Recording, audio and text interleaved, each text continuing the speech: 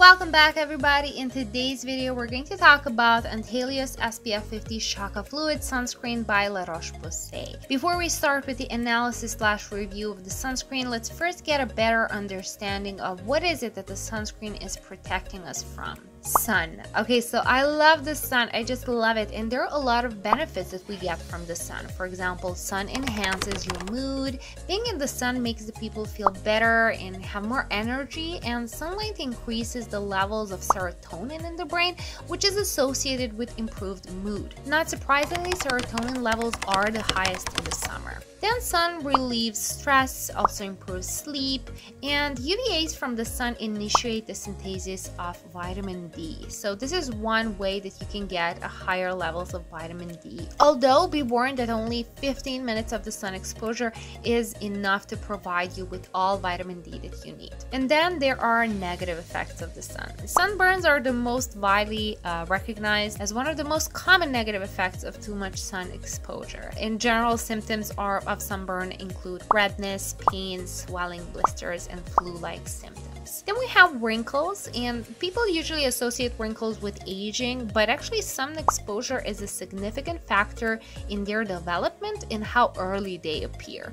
Because UV light damages collagen and elastic tissue in the skin, and so it becomes more fragile and it does not spring back into shape, causing sagging of the skin. Then we also have hyperpigmentation, and the last, but certainly not the least, is skin cancer. Now, there are different, many different types of rays present in the sunlight, but the rays that are most, most damaging to our skin are called ultraviolet rays. And there are two basic types of ultraviolet rays that reach the Earth's surface. Those are UVB and UVA. UVB rays are responsible for producing sunburn and they play the greatest role in causing uh, skin cancer. UVA rays also play a great role in skin cancer formation, but in addition, UVA rays penetrate more deeply into the skin and play a greater role in premature skin aging changes, including wrinkle formation or photo aging. And uh, fun fact, there are approximately 500 times more UVA rays in sunlight than UVB rays.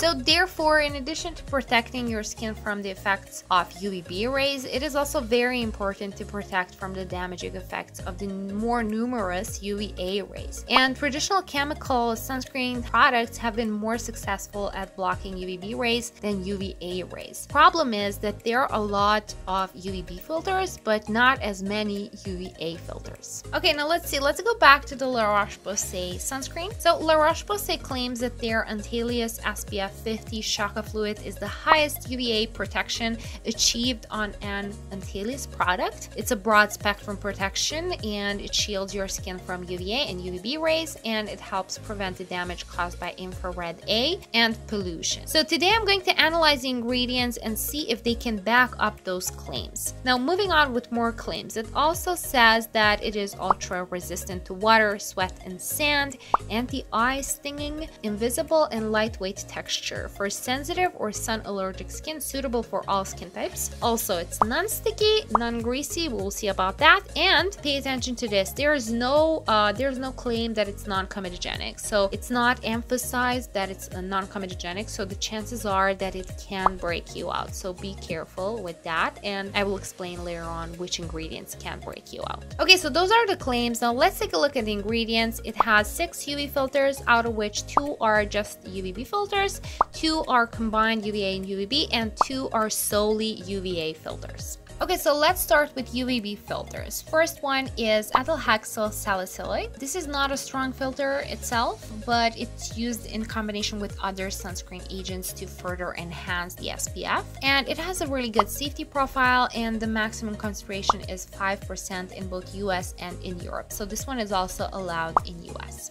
Then we have ethylhexyl triazone. This is another UVB filter, although it's not available in US due to FDA regulations, but uh, it's available in Europe. And by the way, I bought this sunscreen in Europe because I live in Europe. And this one gives the highest photostable absorption of all available UVB filters. Then we have combined UVA and UVB. So first we have Tinosorb S. Okay, so Tinosorb S, this is another, this is a UVA UVB combined filter, and this is one of the best sunscreen agents agents known today. It's a broad spectrum and uh, it's very photo stable and sometimes it's very useful in stabilizing other less stable sunscreen agents like the famous UVA avobenzone, which is also included in this formulation. Then we have Mexoryl XL. This is another UVA UVB filter and this is a L'Oreal exclusive sunscreen agent. So I guess L'Oreal patented it and this can be found only in L'Oreal's sunscreen and La Roche-Posay is owned by L'Oreal.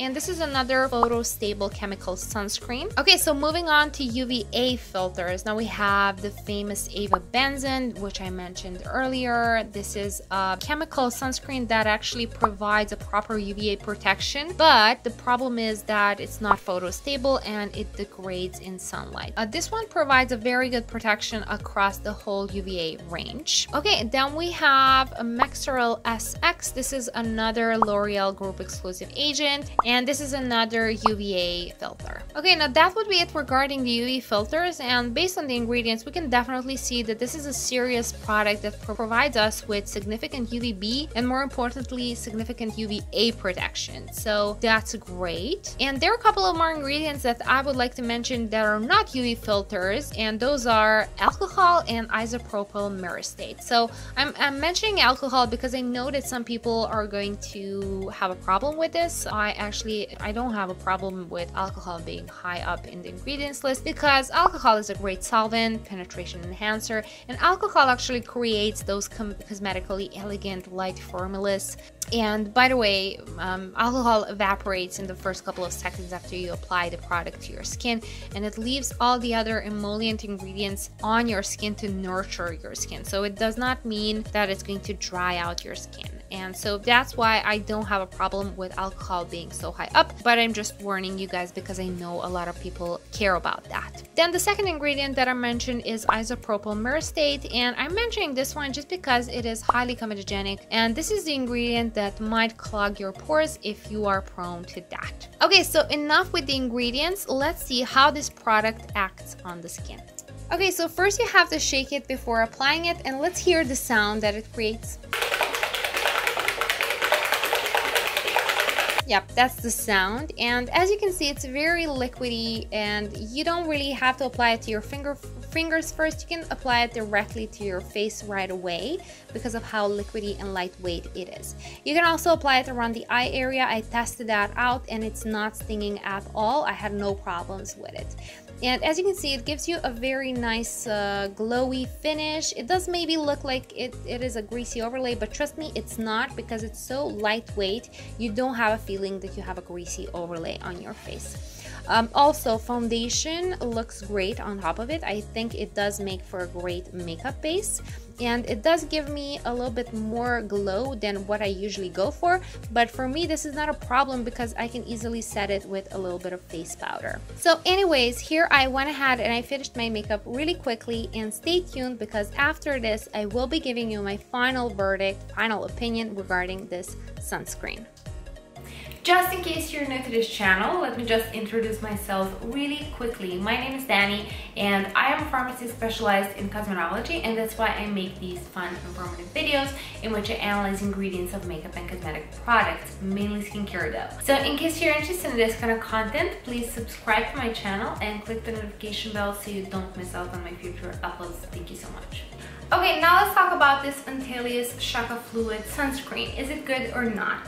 Okay, so I would say that everything about this sunscreen is good. Like everything from the ingredients to the claims, like everything is good. I love it so far. It's super lightweight, it spreads out easily, and it makes for a great makeup base as well. And even though it's not completely matte, I think this is as close as you can get to a matte finish with a waterproof sunscreen. Also, it can be applied around the eyes, and that's a huge plus for me because if you watched uh, the video in which I analyzed elasticity filler under eye cream, Eucerin elasticity Filler Under Eye Cream. I will list it right here. You would know that that actually, that under eye cream had also UVA and UVB protection and it was stinging my eyes. With this one, that's not the case. It's perfectly comfortable to apply it around the eye area and I love it because of that. Maybe some of the people will have a problem that it has have uh, alcohol listed high up, like second place in the ingredients list, but I personally don't have a problem with that and I already explained my opinion uh, regarding alcohol in this video right here and And um, I mean, alcohol is a solvent.